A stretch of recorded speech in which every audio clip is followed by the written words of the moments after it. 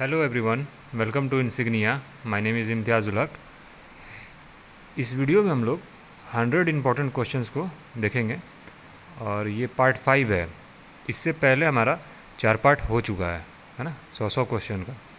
तो वो वो भी आप लोग देख लीजिएगा। चलिए शुरुआत करते हैं। पहला क्वेश्चन क्या है? Academia is an example of है ना? एकेडमिया किसका एग्ज़ाम्पल है? तो एकेडमिया जो है, आपको एकेडमिक सोशल नेटवर्किंग साइट है। ठीक है? अच्छा ये होता क्या है एकेडमिक सोशल नेटवर्किंग साइट तो कुछ ऐसे भी साइट्स होती हैं, जिसमें क्या होता है कि हम लोग सिर्फ़ एकेडमिक मतलब पढ़ाई लिखाई से रिलेटेड हम लोग उसमें बात करते हैं टॉक करते हैं। ठीक है? या यूज़ करते हैं उस साइट को। जैसे एकेडमिया यहाँ पे एग्जांपल दिया हुआ है। रिसर्च गेट का आपने नाम सुना होगा। मेंडले हो गया जोटेरो हो गया ठीक है, ये सभी आपके साइट्स मिल जाएँगे किस पे? एकेडमिक सोशल नेटवर्किंग साइट में। ठीक है, फिर सोशल नेटवर्किंग साइट क्या हो जाता है? तो सोशल नेटवर्किंग साइट हो जाता है कि जिसमें हम मतलब बातचीत के लिए, एक दूसरे से इंटरेक्शन के लिए मतलब सिंपल ऐसे इंटरटेनमेंट पर्पज़ से हम लोग यूज़ करते हैं। लेकिन एकेडमिक में ऐसा कुछ नहीं है। एकेडमिक में आपको सिर्फ़ एकेडमिक पर्पज़ से उसको यूज़ करना होता है, उस साइट को। उसमें आप कुछ और कर ही नहीं सकते। ठीक है तो दोनों में यही फ़र्क है। चलिए, इसके बाद अच्छा इसका आंसर हो गया आपको एकेडमिक सोशल नेटवर्किंग साइट्स चलिए, इसके बाद दूसरा क्वेश्चन है हमारा arrange the following projects of IFLA in chronological sequence ठीक है, पहला क्या है? FRAD F R B R F R B R O O और F R S A D देखिए, सबसे पहले इसमें आपको एक तो ये लिखना पड़ेगा कि किसका ईयर क्या है। एफ़ आर बी आर तो सबको खैर याद होगा ना कि एफ़ आर बी आर कब आया हमारा? Nineteen ninety eight. ठीक है? उसके बाद से फ्रेड जो है, आपका टू थाउज़ेंड नाइन ठीक? उसके बाद ये वाला पार्ट जो है, ये आ गया आपका टू थाउज़ेंड टेन ठीक है। और ये वाला बच गया तो ये वाला आपका हो जाएगा टू थाउज़ेंड सिक्सटीन ठीक है। अब देखिए। एक तो फुल फॉर्म भी याद यहाँ से रखना है कि फुल फॉर्म इसका क्या है? तो एफ़ का फुल फॉर्म याद हो आप सभी को। क्या functional requirements for bibliographic record और एफ़ आर ए डी का यहाँ अब ए डी की बात कर रहा है ना? देखिए यहाँ पे एफ़ आर एफ़ आर तो सेम रहेगा, लेकिन ए डी की जो बात आ जाएगी तो मतलब ये हो जाएगा कि functional requirement for authority data A D का मतलब क्या हो गया यहाँ पे? ऑथोरिटी डाटा उसके बाद अब यहाँ पे डबल ओ है थर्ड नंबर देखिए, है ना? तो डबल ओ का मतलब हमारा क्या हो जाता है? Object oriented. अब पूरा अगर देखेंगे तो क्या है? Functional requirement for bibliographic records object oriented. Clear? उसके बाद जो हमारा है, लास्ट ये वाला, चौथा। तो यहाँ पे क्या है? एस ए डी हो गया लास्ट में, है ना? एफ़ आर तो सेम है। तो एफ़ आर का फुल क्या बताया था मैंने कि एफ़ आर भी एफ़ आर में क्या होगा? फंक्शनल रिक्वायरमेंट फॉर अब एस ए डी का क्या हो जाएगा? Subject authority data. ठीक है? चलिए, ये चीज़ याद रखिएगा। अब इसको आप मैच कर लीजिए। देखिए, क्या हो जाएगा answer? B A D C मतलब पहले एफ़ आर बी आर हो गया, फिर फ्रेड हो गया एफ़ आर ए डी फिर आपका F R S A D और फिर सी नंबर क्या हो जाएगा? F R B R O O ठीक है? चलिए, इसके बाद तीसरा सवाल क्या है? International Business Machines Corporation was founded in IBM है ना? आईबीएम कब बना है हमारा? तो 1911 में। ठीक है? चलिए, इसके बाद with reference to S R Ranganathan which of the following statement is not correct इसमें कह रहा है कि कौन सा सही नहीं है। ठीक है? देखिए, पहला क्या है? पद्मश्री अवार्ड। इनको कब मिला है? मान लीजिए आपको नहीं मालूम तो इसको पहले भी क्वेश्चन मार्क मारिए। ठीक? दूसरा क्या है? यूनिवर्सिटी ऑफ़ दिल्ली से इनको मिला था डिलीट की डिग्री तो ये सही है। फिर उसके बाद से यूनिवर्सिटी ऑफ़ पिट्सबर्ग ये भी सही है। यहाँ से भी इनको डिग्री मिली है। उसके बाद से initiated five laws of library science ये भी सही है। तो अब डाउट किसमें है हमको? डाउट पहले में है। है ना? ये तो सही है। डाउट है पहले में। अब पहला क्या है? देखिए 1959 दिया हुआ है। उनको कब मिला है पद्मश्री? तो 1957 में मिला है। ठीक है? तो ये चीज़ हो गया। दूसरा क्या है? यूनिवर्सिटी ऑफ़ ऑफ़ दिल्ली तो यहाँ से इनको 1948 में मिला था। है ना? यहाँ ईयर आप लिख लीजिए 1948 और पिट्सबर्ग वाला हो जाएगा 1964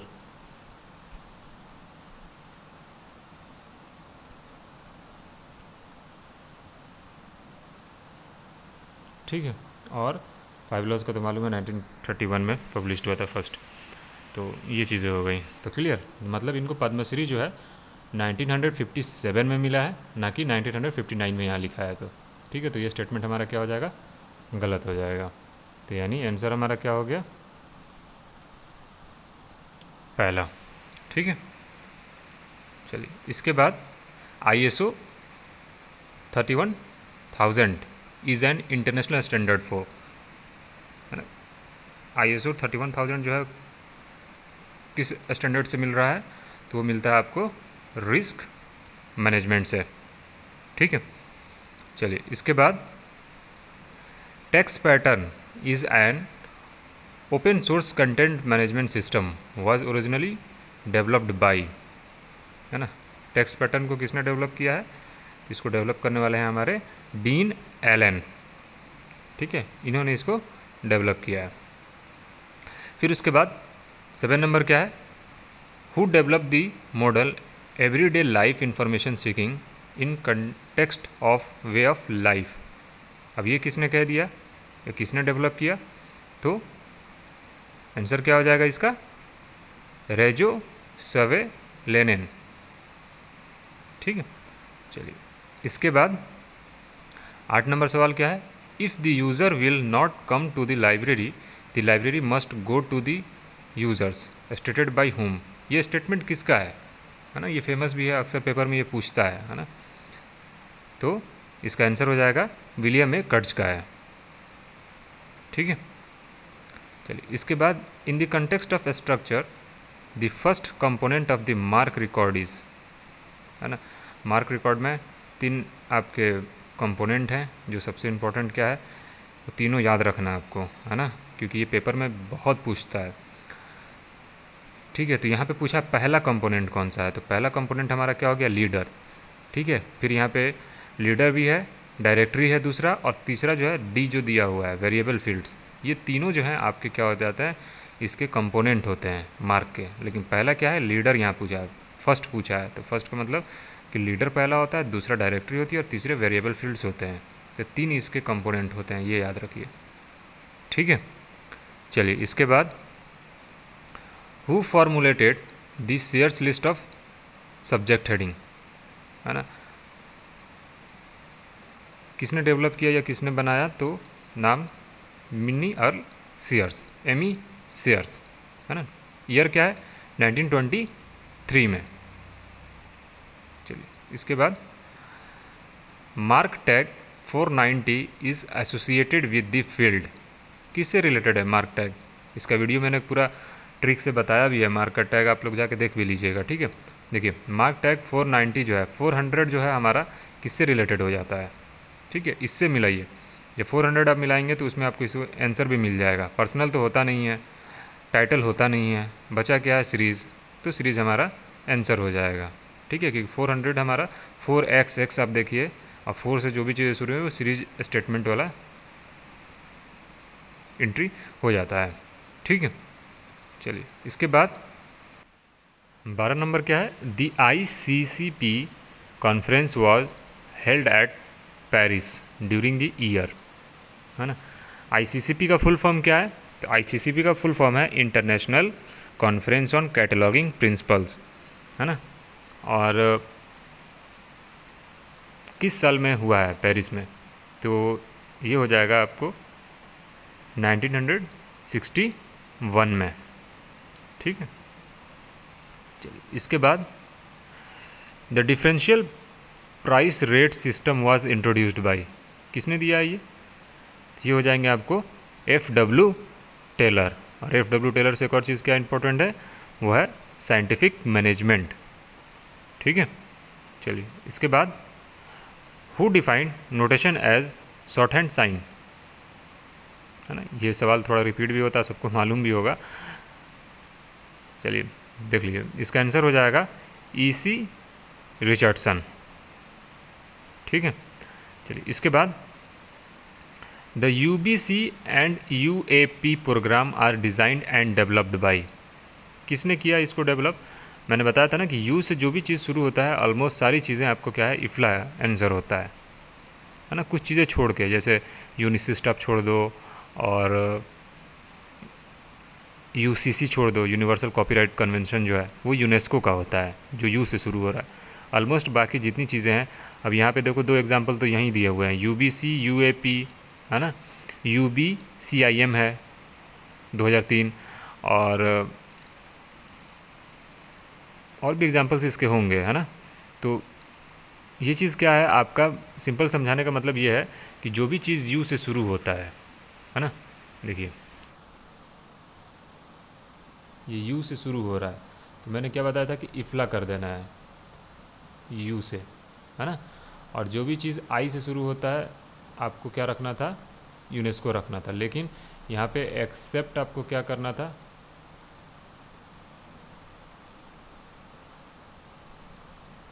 एक्सेप्ट यू, सी सी और यूनी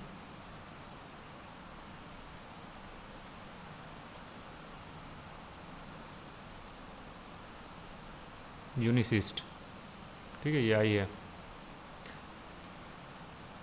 यूनिसिस्ट है ना? तो ये चीज़ें जो यू से शुरू हो रही हैं, ये चीज़ें आपकी यूनेस्को में आ जाती हैं और रेस्ट जितना है आपका ऑलमोस्ट सभी चीज़ आपका इफ्ला में आ जाता है। ठीक है? तो ये चीज़ थोड़ा सा याद रखिएगा। चलिए तो इसका आंसर क्या हो जाएगा? आंसर हो जाएगा इफ्ला ठीक है? चलिए, इसके बाद the project Gutenberg is initiated by है ना? किसका इनिशिएटिव था या किस, किसने किया? तो वो हो जाएगा इसका आंसर माइकल एस हार्ट ठीक है? चलिए, इसके बाद the first edition of C C F was published in 1984 under the editorship of किसके एडिटरशिप में आया ये? तो ये आया था आपको Peter Simmons and Alan Hopkins के। ठीक है? ये भी चीज़ थोड़ा सा याद रखना है आपको। इसके बाद 18 नंबर क्वेश्चन क्या है? Dash and dash are maintaining WorldCat and IndCat, respectively. पहला क्या है? O C L C slip तीसरा आर्लिन और चौथा इनफ्लिपनेट इसमें ही आपको चूज़ करना है कि पहले में जैसे वर्ल्ड कैट है तो वर्ल्ड कैट को, वर्ल्ड कैट को डेवलप करने वाला कौन है और इंड कैट को डेवलप करने वाला कौन है? है ना? या मेंटेन करने वाला कौन है? तो आप इसको याद रखिए, देखिए। आंसर क्या है? ए एंड डी मतलब वर्ल्ड कैट जो है, उसको ओसीएलसी डेवलप कर रहा है है ना? और देखो वर्ल्ड कैट को कौन कर रहा है? मेंटेन ओ सी एल सी और इनकेट को हमारा इनफ्लिपनेट करता है। इनफ्लिप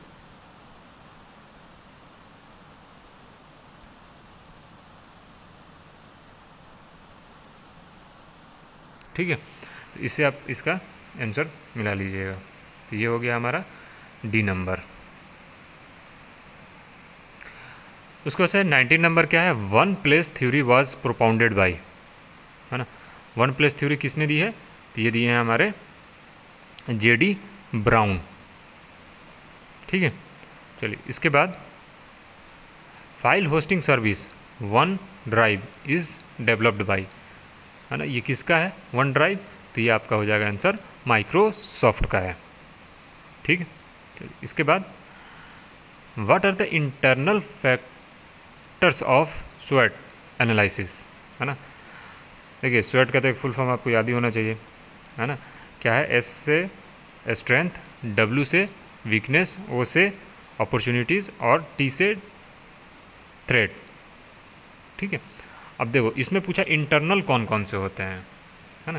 तो देखो इंटरनल जो होते हैं, पहला और दूसरा जो है एस डब्ल्यू ऐसे बना लीजिएगा।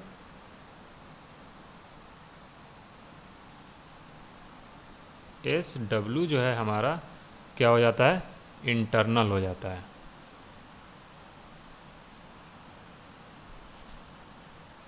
है ना? और ओ टी जो होता है, हमारा क्या हो जाता है?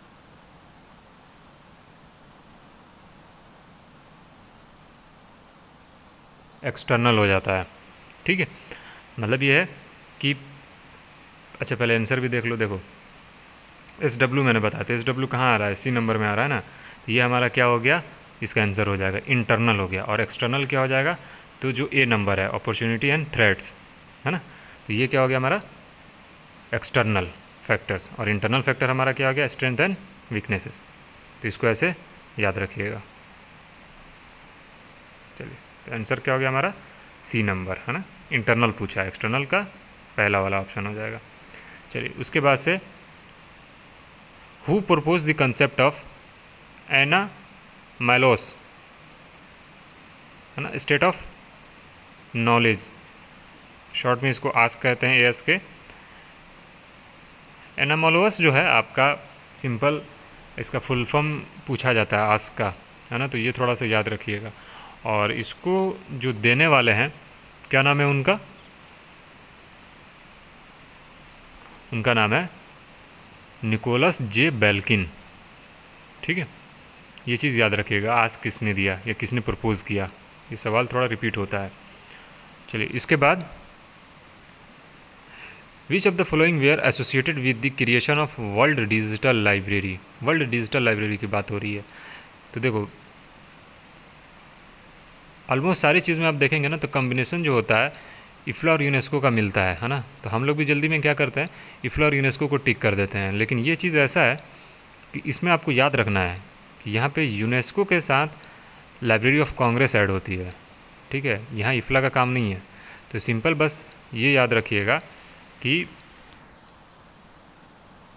L O C plus UNESCO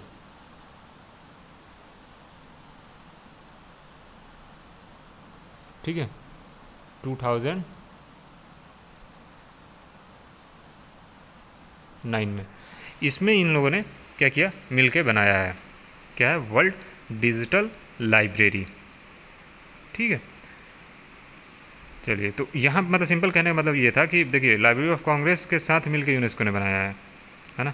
लेकिन और सब चीज़ें में, जैसे पब्लिक लाइब्रेरी मैनिफेस्टो देख लो, या कुछ और भी चीज़ें ऐसी होती हैं जो जिसमें इफ्ला और यूनेस्को का बहुत सारा काम है। लेकिन ये चीज़ ऐसा है वर्ल्ड डिजिटल लाइब्रेरी कि लाइब्रेरी ऑफ़ कांग्रेस के साथ मिलकर यूनेस्को ने इसको डेवलप किया है। है ना? चलिए, इसके बाद ईयर भी याद रखिएगा 2009 चलिए, इसके बाद जो है हमारा, इसका आंसर क्या हो जाएगा हमारा? ए और सी चलिए, इसके बाद which of the following models have starting chaining browsing differentiating monitoring extracting characteristics किसका है ये? सिंपल आप शुरू में भी याद रखेंगे तो ऐसे भी याद हो जाएगा। स्टार्टिंग चैनिंग ब्राउजिंग डिफ्रेंशिएटिंग बस ये चार ही शुरू का याद रख लीजिए, इसी से आपको मालूम चल जाएगा। किसका है ये? तो एलिस मॉडल का है है ना? Ellis model of information seeking behaviour उनका है ये। ठीक है? चलिए, इसके बाद in which year the university of Chicago stabilise the first graduate school of librarianship किस साल में? तो उसका ईयर हो जाएगा 1926 में। ठीक है? चलिए, इसके बाद and investment in knowledge pays the best interest who said किसने कहा था ये? ये कहा है हमको बेंजामिन फ्रैंकलिन ने कहा है। ठीक है? चलिए, इसके बाद what is the frequency of DESIDOC journal of library and information technology है ना? देखो, इसमें एक चीज़ तो ये भी हो जाता है कि D J L I T short में बोलते हैं, है ना? और ये 1981 से है। ठीक है, इसका पहला नाम जो था डेसीडॉक बुलेटिन ऑफ़ आईटी था। डी बी आई टी चलो लिख दे रहा हूँ। देखो, पहले इसका नाम जो था ना, ये वाला जो है ठीक है, इसको क्या है? D J L I T लेकिन पहले इसका नाम क्या था? पहले इसका नाम था डी बी आई टी मतलब क्या है? DESIDOC of bulletin of IT है ना? इंफॉर्मेशन टेक्नोलॉजी तो इससे याद रखिएगा। पहले इसका नाम क्या है? D B I T clear इसकी फ्रीक्वेंसी क्या है? इसकी फ्रीक्वेंसी हो जाएगी हमारी बाई मंथली है।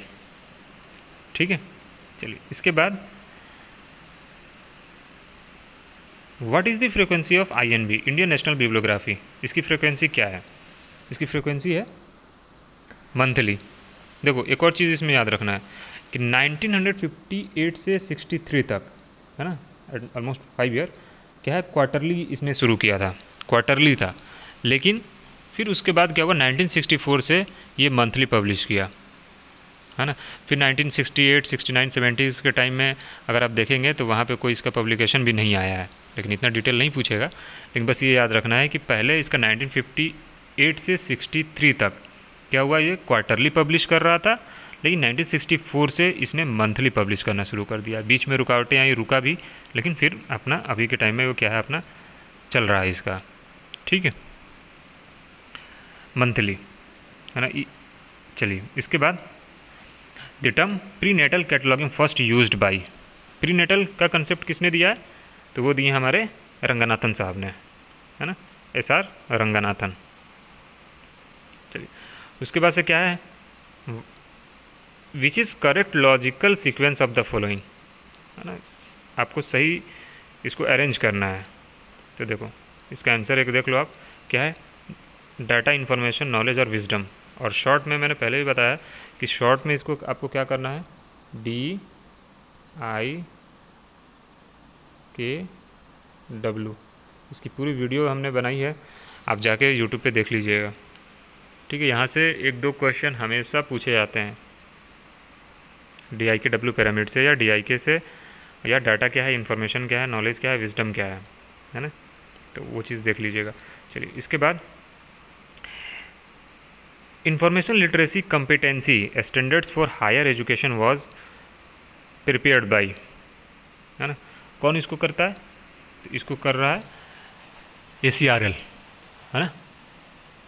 चलिए, इसके बाद थर्टी टू नंबर क्या है? Zipf's law basically deals with किससे? जिप्स लॉ जो होता है, किससे डील कर रहा है? तो हमारा frequency of occurrence of word ठीक है? अच्छा जिप्स लॉ का ईयर क्या है? 1935 है। और लोटकाज लॉ का क्या है? तो 1926 है। ब्रेडफोर्ड का क्या है? तो 1934 है। ये भी चीज़ याद रखिएगा। ये अरेंजमेंट में दे देता है नेट के पेपर में। चलिए, इसके बाद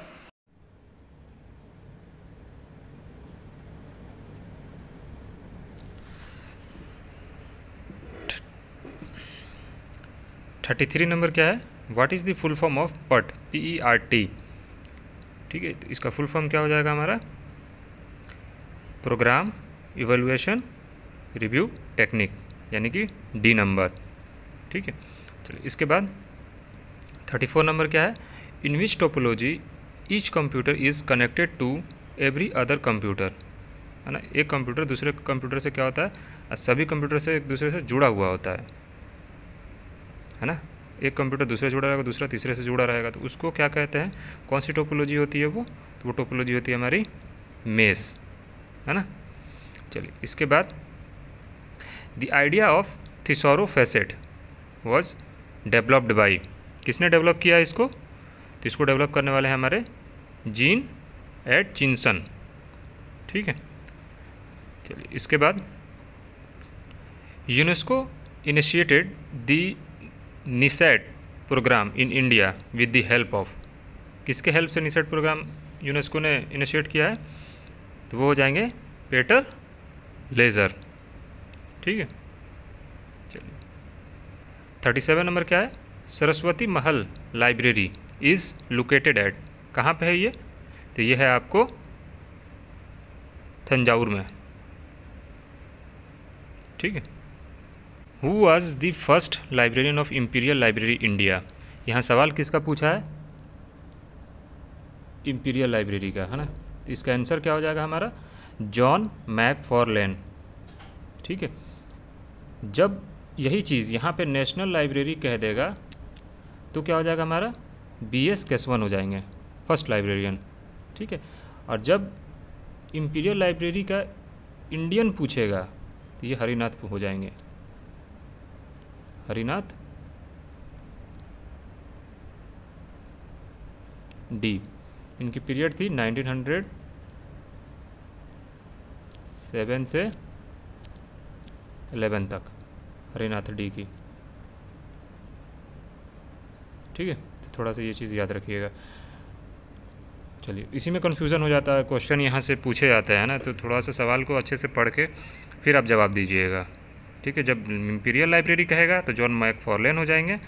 जब नेशनल लाइब्रेरी का, कहेगा तो आपको बी एस केसवन हो जाएँगे। और जब इम्पीरियल लाइब्रेरी का फ़र्स्ट इंडियन पूछेगा तो हरिनाथ डी हो जाएँगे। ठीक है? तो ये चीज़ थोड़ा सा याद रखना है। चलिए, इसके बाद, ठीक है, इसका आंसर हो गया जॉन मैक फॉरलेन अब थर्टी नाइन नंबर क्या है? The state that enacted library legislation in 1965 is कौन है 1965 में बनने वाला? तो वो हो जाएगा हमारा कर्नाटका। ठीक है? चलिए, इसके बाद फोर्टी नंबर क्या है? LibSys is a library automation software developed by किसने डेवलप किया है इसको? तो इसको डेवलप किया है लिप्सिस कॉरपोरेशन ने डेवलप किया है। ठीक है? और इसका ओरिजिन जो है 1984 से है लिप्सिस का। ठीक है? चलिए। इसके बाद dash notation is used in universal decimal classification यानी यूडीसी तो क्या हो जाएगा? मिक्स्ड नोटेशन यूज़ होता है। ठीक है? चलिए, इसके बाद 42 number library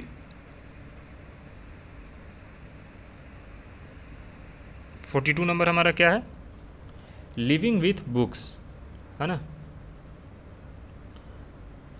यूज्ड इन किसमें यूज़ होता है ये?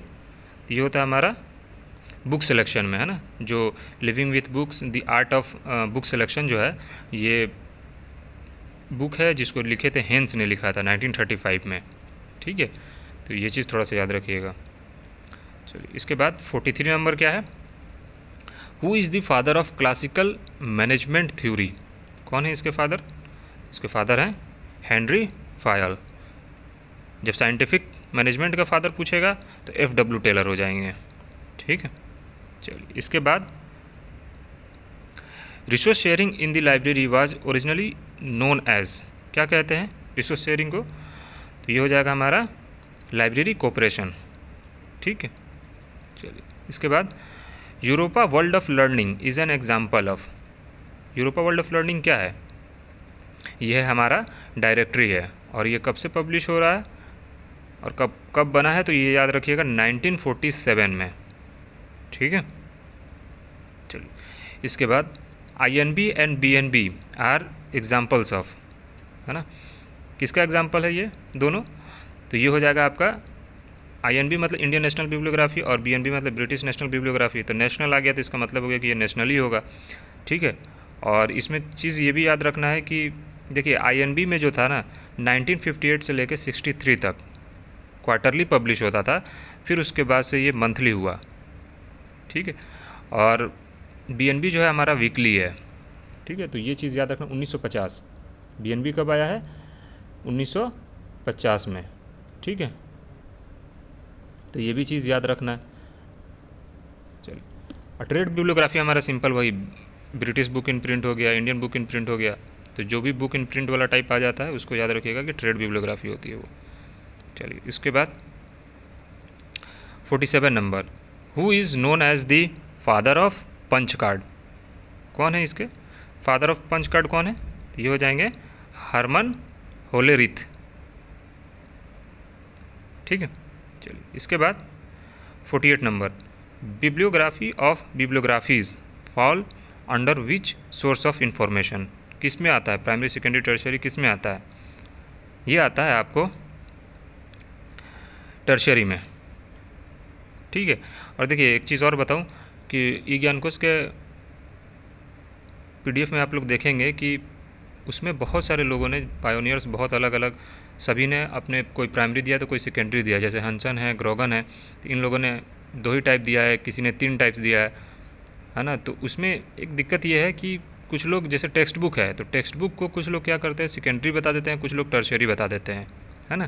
तो उसमें कन्फ्यूज़न नहीं हो। अगर वैसे जवाब आता भी है तो सामने आपके क्वेश्चन अगर आ गया तो आप उसको यही बोलिएगा कि सिंपल सी लॉजिक यही बताइएगा आप लोग कि इस आदमी ने या हैंसन ने या ग्रोगन ने, है ना?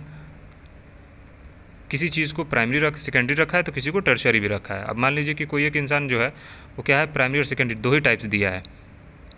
तो टर्शरी टर्शरी वाला चीज़ कहाँ देगा वो? सेकेंडरी में ही तो देगा। बस समझ में आ रहा? वो चीज़ हम बता रहे हैं आपको। कि इसी तरह से आप ई ज्ञान को इसके साइट पे, उस पर देखेंगे, पीडीएफ में देखेंगे तो पीडीएफ में बहुत लोगों ने अलग अलग अलग अलग अपनी व्यूज़ दिए हैं। ठीक है? तो ऐसे कन्फ्यूज़न नहीं होना चाहिए। हाँ बस कुछ चीज़ें ऐसी होती हैं जो आपको पता होना चाहिए कि कौन सी चीज़ किसमें आ रही है। इसका कंसेप्ट प्राइमरी सेकेंडरी टर्शरी का समझ के देन आप आंसर कीजिए। और अगर आप ई ज्ञान को सीपीजी पाठशाला पढ़े हैं, या मैंने भी क्विज बहुत कराए हैं इस इसमें तो वो सब पे अगर आप देख लें तो और भी अच्छा हो जाएगा। पार्ट फोर ई में। दिया हुआ है ये सारी चीज़ें तो उसको भी आप लोग पढ़ लीजिए तो उससे बहुत कुछ आपको क्लियर हो जाएगा। ठीक है? चलिए, इसके बाद फोर्टी नाइन नंबर क्या है? The full name of O S I network is. क्या है ओ एस आई नेटवर्क का पूरा नाम? ओपन सिस्टम्स इंटरकनेक्शन, है ना? चलिए, उसके बाद fifty number, according to which law of library science, library grows and grows ली। अब ग्रो की बात आ गई तो ज़ाहिर सी बात है कि हमारा क्या होगा? फिफ्थ लॉ ही हो जाएगा, है ना? चलिए, इसके बाद fifty one number the budget of the library is prepared for the है ना? तो बजट जो है हमारा किसके लिए बना रहे हैं? तो हम बनाते हैं नेक्स्ट ईयर के लिए, है ना? अगले साल हमको क्या करना है कितना खर्चा करना है, नहीं करना है, सारी चीज़ें हम लोग क्या है बजट बनाते हैं जो तो नेक्स्ट ईयर का होता है। ठीक है नेक्स्ट ईयर का देख के ध्यान में हम लोग बजट बनाते हैं। चलिए, उसके बाद which of the following is an example of federated search engine कौन सा है इसमें? तो इसमें है आपको किनिम बुस। ठीक है? चलिए, इसके बाद, एग्रीकोला। अब एग्रीकोला क्या है? तो एग्रीकोला जो है हमारा, सिंपल। एग्रीकल्चरल ऑनलाइन एक्सेस, है ना? इसको मेंटेन करता है US national agricultural library of the US department of agriculture, ठीक है? और यूएस से रिलेटेड है, ये भी चीज़ याद रखिएगा, क्योंकि सीधा डायरेक्ट क्वेश्चन भी कभी कभी बन जाता है कि एग्रीकोला जो है कहाँ से रिलेटेड है तो यूएस से रिलेटेड है, ठीक है? तो इसका आंसर हो जाएगा यूएस डिपार्टमेंट ऑफ़ एग्रीकल्चर ठीक है? चलिए। उसके बाद in which year the British museum catalogue of printed books was published किस साल हुआ है? तो ये हुआ है आपको 1841 में। ठीक है? और, ठीक है। उसके बाद 55 नंबर हमारा क्या है? NASSDOC NASSDOC is associated with किससे एसोसिएट है ये? किससे जुड़ा है? तो ये है आपको I C S S R है ना? ये जो बना है I C S S R जो बना है 1969 में बना है और नेस्डॉग जो बना है 1970 में बना है। ठीक है? और ये इसके अंदर आ रहा है। ठीक है? तो ये भी चीज़ याद रखना है। चलिए, इसके बाद the founder chairman of Indian council of philosophical research was कौन थे? फाउंडर चेयर चेयरमैन तो ये थे आपके डीपी चट्टोपाध्याय, है ना? ये भी चीज़ थोड़ा सा याद रखिएगा, ठीक है? और ये आया था आईसीपीआर जो आया था 1977 में आया था, और इसके जो चेयरमैन थे वो कौन थे? डीपी चट्टोपाध्याय थे, ठीक है? चलिए, इसके बाद 57 नंबर क्या है? Research library group R L G founded in 1974 was later on merged with one of the following है ना? आरएलजी किसके साथ मिला? और आरएलजी बना है 1974 में। तो आरएलजी किसके साथ मर्ज हुआ? किसके साथ मिला? तो वो मिला था आपको ओसीएलसी के साथ 2006 में। ठीक है? और यहाँ पे इंपॉर्टेंट ये भी है कि आरएलजी कब बना है? कभी कभी अरेंजमेंट में क्वेश्चन आ जाता है। तो याद रखिएगा 1974 में। चलिए, उसके बाद first public library act enacted in the pre independent India है ना? तो ये कब है? एक तो इससे भी याद रखिए कि कोल्हापुर पब्लिक लाइब्रेरी एक्ट है है ना? आज़ादी से पहले बना, लेकिन नॉन फंक्शनल था और 1945 में बना था। तो आज़ादी से पहले का था, इसलिए प्री लिख दिया। और 1945 में कोल्हापुर पब्लिक लाइब्रेरी एक्ट, जो कि काम नहीं कर रहा था नॉन फंक्शनल था वो। चलिए, उसके बाद क्या है? Arrange the following search engine according to their year of launching in as in an ascending order ascending order में सजाना है। ठीक है? तो देखिए।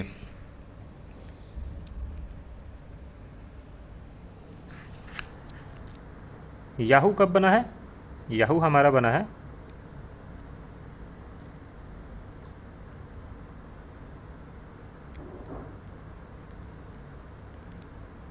नाइनटीन नाइन्टी फोर में। ठीक है?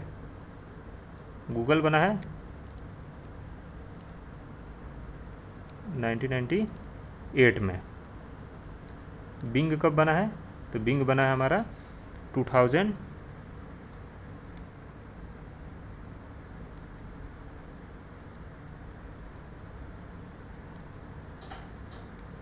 नाइन में।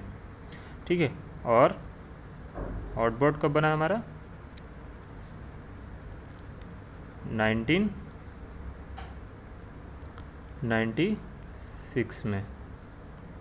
और साइरस बना है हमारा। Two thousand. वन में। ठीक है, ये नेट में सवाल पूछा है और इसका ईयर भी याद रखिएगा। ठीक है, अब इसको आप अरेंज कर लीजिएगा। ठीक है, सबसे पहले याहू आएगा तो यहाँ पे ए यानी कि ए और डी दोनों में आ रहा है पहले, है ना? उसके बाद से आपका फिर गूगल है तो गूगल के पहले हमारा हॉटबॉट आएगा 1996 यानी कि हमारा डी नंबर तो डी पहले आ गया यानी कि पहला ऑप्शन अभी सही लग रहा है। फिर उसके बाद से बी जो है गूगल आ गया ठीक है 1998 में। फिर उसके बाद से ई e, साइरस है है ना 2001 में। और फिर आपका लास्ट में बिंग चला जाता है 2009 में ठीक है। तो ये चीज़ को थोड़ा सा याद रखिएगा। ठीक है। इसका आंसर क्या हो जाएगा हमारा? A number. ठीक है? चलिए। इसके बाद arrange the following classes as per DDC scheme of classification पहला इथिक्स दूसरा मेटा फिजिक्स तीसरा लॉजिक चौथा साइकोलॉजी और पांचवा इपिस्टोमोलॉजी ठीक है? अब देखो यहाँ पे क्या है? आपको सिंपल बताना है। ऐसे आप लिख ही लो सबसे अच्छा। मैं बता रहा हूँ। देखो हंड्रेड जो होता है, हमारा हंड्रेड किसके लिए है?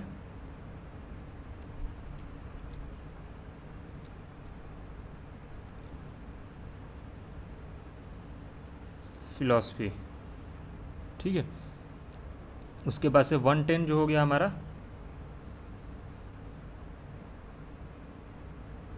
वन टेन ठीक है? मेटाफिजिक्स है ना? उसके बाद से वन टेन इपिस्टोमोलॉजी हमारा कितना हो गया? इपिस्टोमोलॉजी हो जाता है वन ट्वेंटी ठीक है? उसके बाद वन ट्वेंटी उसके बाद हमारा होता है वन ट्वेंटी वन थर्टी जो है, हमारा पारा साइकोलॉजी हो जाता है, वो तो जिसमें दिया नहीं है। फिर उसके बाद से हमारा आ जाएगा वन फोर्टी फिलोसफिकल वो भी नहीं दिया हुआ है। उसके बाद से 150 हमारा हो जाता है।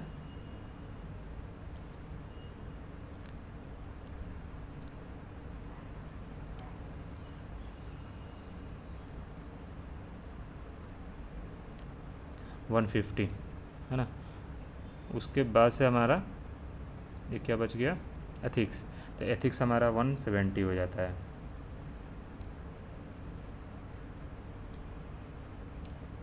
ठीक है? तो ये चीज़ भी आपको याद रखना है। ठीक है, और 160 आपका लॉजिक हो जाता चाहिए भी है। 160 आपका लॉजिक हो गया। ठीक है तो ये सारी चीज़ें आपको ऐसे याद रखनी है। अब इसी को आपको अरेंज कर देना है। ठीक है? चलिए तो सिंपल इसमें क्या है आपका? सबसे पहले आपका वन टेन आ रहा है हंड्रेड आ रहा था हंड्रेड तो है नहीं इसमें। सिंपल आपका वन टेन फिर आ रहा है मतलब बी फिर ई e, तो लास्ट ऑप्शन हमारा मिल रहा है। तो इसका आंसर क्या हो जाएगा हमारा? बी ई डी सी ए ठीक है? चलिए इसके बाद which of the following consortium supports e resources exclusively for health sciences health sciences के लिए कौन सा होता है? तो हेल्थ लिखा है तो एच से हो गया ना? चलिए, सही बात है। देखिए हेलीनेट ठीक है? चलिए, इसके बाद who is the author of the book title subject catalogue heading and structure है ना, ये किसकी किताब है? तो ये किताब हो जाएगी ईजे कोट्स की। ठीक है? चलिए। उसके बाद से है resource description and access is developed into how many sections कितने सेक्शंस में इसको डिवाइड कर रहा है? तो ये डिवाइड करता है आपको टेन में, है ना? दस सेक्शन में डिवाइड किया आर को। चलिए, उसके बाद who authored manual of library economy है ना? किसकी किताब है? तो ये किताब है आपको जे डी ब्राउन की। ठीक है, चलिए इसके बाद which of the following are the product of chemical abstract services है ना? केमिकल एब्स्ट्रैक्ट सर्विसेज़ का कौन कौन सा इसमें प्रोडक्ट है? तो इसमें जो होगा साई फाइंडर और मेथड्स नाउ ये दोनों जो होंगे ए और सी ठीक है? बाकी बी और डी जो है, नहीं है। तो इसका आंसर हो गया हमारा ए और सी साई फाइंडर और मेथड्स नाउ चलिए, इसके बाद फायर स्टार्टेड इन फायर का फुल फॉर्म क्या है? Forum for information retrieval evaluation कब स्टार्ट हुआ है ये? ये स्टार्ट हुआ है हमारा 2008 में। ठीक है? चलिए।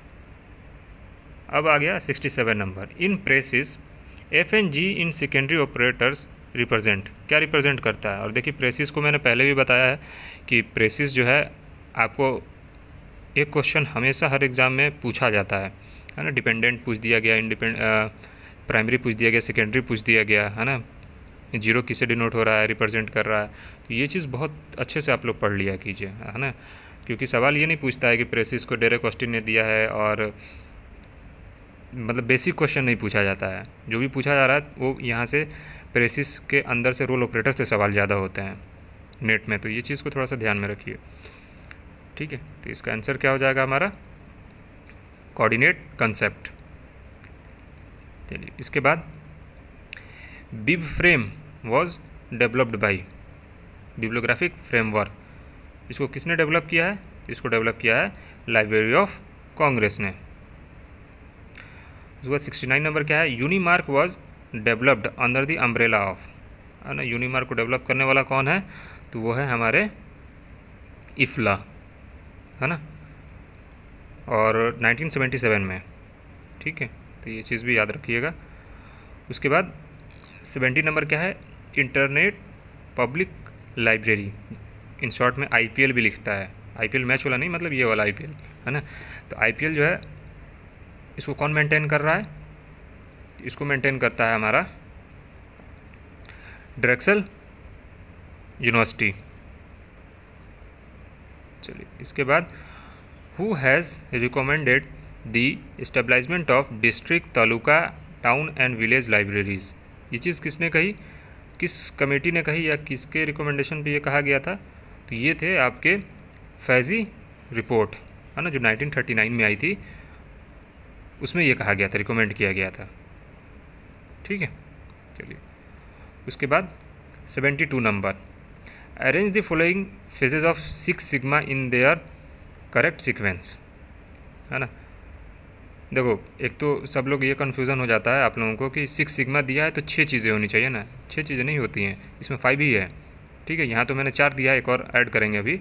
लेकिन हमेशा याद रखिएगा सिक्स सिग्मा का मतलब ये नहीं है कि वहाँ छः चीज़ें दी हुई होंगी, या छः फेजेस दिए होंगे, या छः टाइप्स दिए होंगे, या छः कुछ भी। नहीं छः नहीं है, पाँच ही है। ठीक है, इसका शॉर्ट ट्रिक भी है। देखिए। सिंपल आपको क्या कर देना है? डी एम ए आई सी कितना हुआ ये? तीन, दो, पाँच हुआ? अब पाँच में आपको देख लीजिए। डी का मतलब क्या है? डिफाइन एम का मतलब मेज़र ए का मतलब एनालाइज आई का मतलब इम्प्रूव और सी का मतलब कंट्रोल ठीक है? ये हमारा क्या बन गया? डी एम ए आई सी है ना? और इसमें जो देखिए, इसमें तो सीधा सीधा आंसर बना हुआ है आपको। ठीक है सेवेंटी टू नंबर में। तो इसका आंसर हमारा ऐसे भी पता चल जाएगा। तो ये एक ट्रिक याद रखिएगा। सिक्स सिग्मा में ये ट्रिक याद होना चाहिए आपको। ठीक है? चलिए। तो इसका आंसर हमारा क्या हो जाएगा? सीधा है। डी एम ए आई और यहाँ पे मैंने पांचवा ऑप्शन जो है वो नहीं दिया है।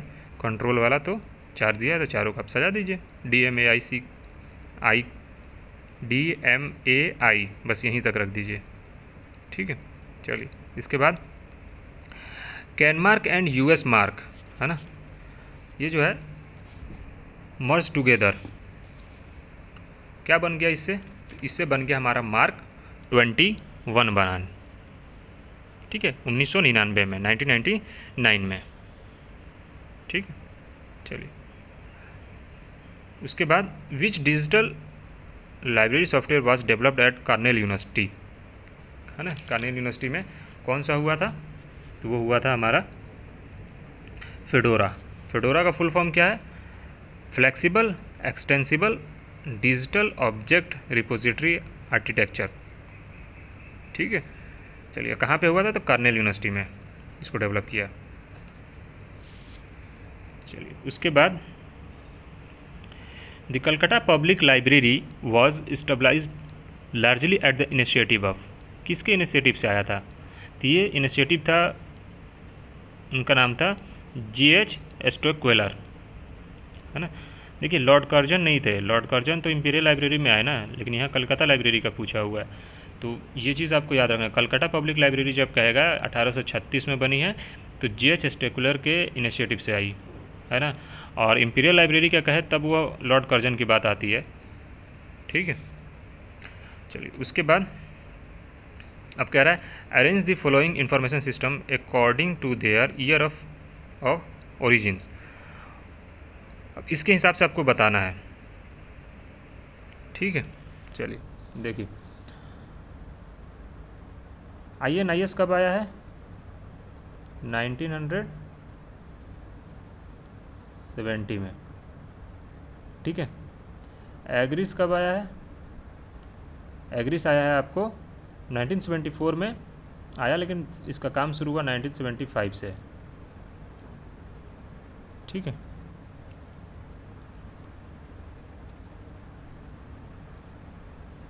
सेवेंटी फोर रखिए, सेवेंटी फाइव रखिए। उसके बाद से इंस्पेक है हमारा तो इंस्पेक हमारा हो जाएगा नाइनटीन हंड्रेड। सिक्सटी सेवन, फिर मेडल, मेडलर्स आ गया तो हमारा मेडलर हो गया नाइनटीन सिक्सटी फोर, फिर एनविस हो गया तो एनविस हो जाएगा नाइनटीन एट्टी टू में। ठीक है, ये चीज़ को थोड़ा सा याद रखिएगा। और इस सारे ईयर्स भी अच्छे से याद कर लीजिए, है ना? चलिए तो इसका आप अरेंज कर लीजिए। अरेंज कैसे होगा? सबसे पहले इसमें कौन सा आया? है 1964 मेड मेडलर्स है ना? इसका ऑनलाइन वर्जन जो था मेडलिन वो था 1971 में। ये भी थोड़ा सा याद रखिएगा। तो सबसे पहले हमारा जो बन रहा है डी यानी कि बी नंबर ऑप्शन हो रहा है। है ना? डी के बाद फिर सी आ रहा है। तो सी में हमारा क्या है? इंस्पैक हो गया। फिर ए आ रहा है। यानी कि ये सही है। है ना? बी नंबर ठीक है? चलिए। हमारा आंसर क्या हो जाएगा? बी नंबर ठीक है? चलिए। इसके बाद e journal article can be identified with the help of किसके हेल्प से हम लोग ई जनरल आर्टिकल को पहचानते हैं? तो वो पहचानते हैं डी से, है ना? डिजिटल ऑब्जेक्ट आइडेंटिफायर ठीक है? चलिए। उसके बाद internet governance guide for libraries is a publication of किसका पब्लिकेशन है ये? ये पब्लिकेशन है हमारा इफ्ला का। ठीक है? ये भी चीज़ याद रखना है। उसके बाद Microsoft Edge first release in कब आया है ये? यह है 2015 में। ठीक है? उसके बाद एटी नंबर क्या है? Inference engine is a part of which information system है ना? Inference engine I in short में भी लिखता है। तो ये जो है किसका पार्ट है? तो ये है आपका एक्सपर्ट सिस्टम का, है ना? चलिए। एट्टी वन नंबर क्या है? M I C R stand for है ना? एम आई सी आर का फुल फॉर्म क्या है? इसका फुल फॉर्म हो जाता है मैग्नेटिक इंक करेक्टर रिकोगिनेशन ठीक है? चलिए। एट्टी टू नंबर क्या है? The library of Congress pioneer cataloguing in publication है ना किस साल में ये किया है?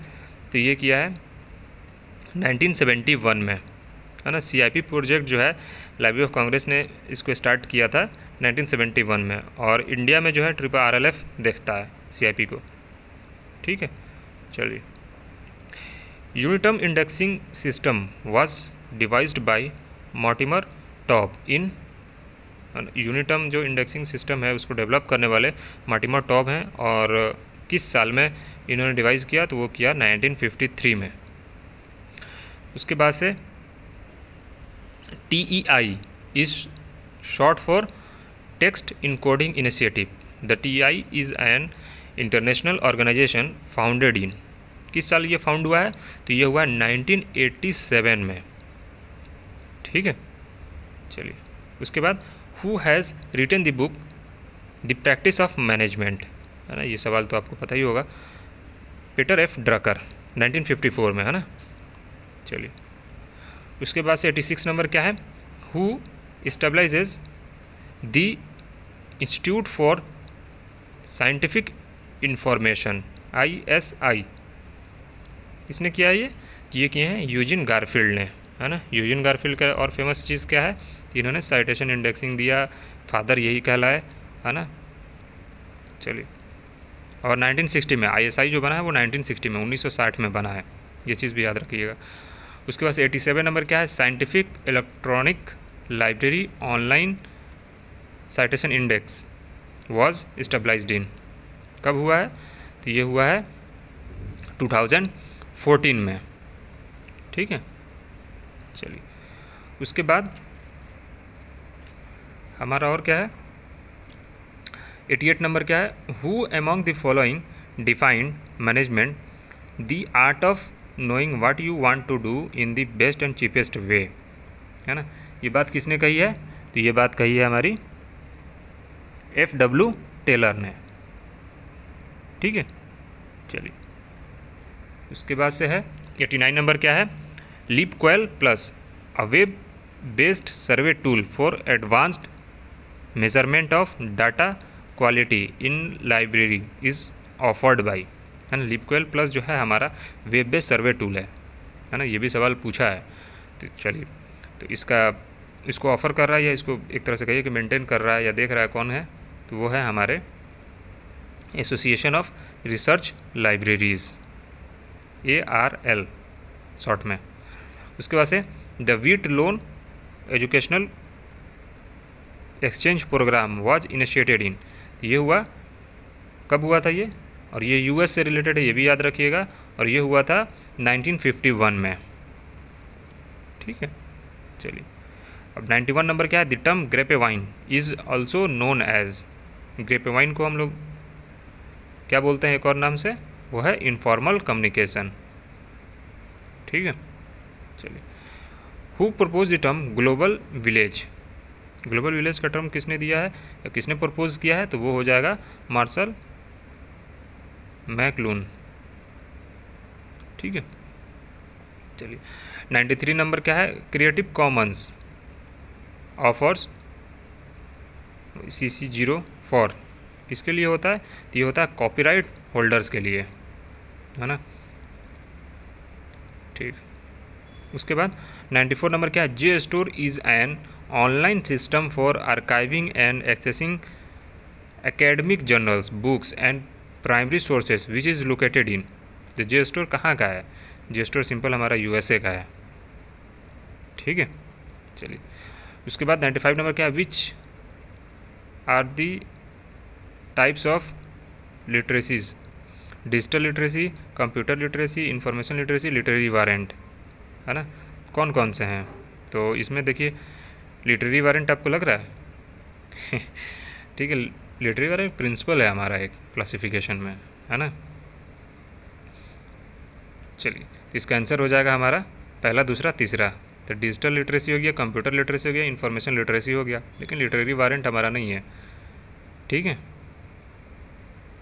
चलिए ninety six number, CAPS. CAPS developed by NISCAIR is related to, किससे रिलेटेड है?